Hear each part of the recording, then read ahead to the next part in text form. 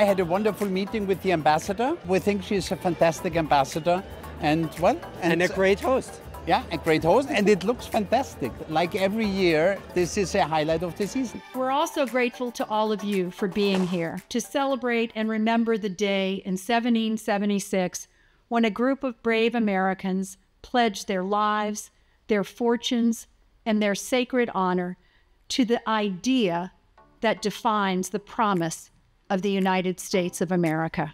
The evening has been wonderful. I mean, wherever I go, wherever I look, uh, there is nice friends, and there is still my strong conviction that Europe and the United States have a very strong mission together, which is democracy, which is freedom, which is uh, rule of law, and this is why I appreciate uh, the collaboration with uh, the United States so much.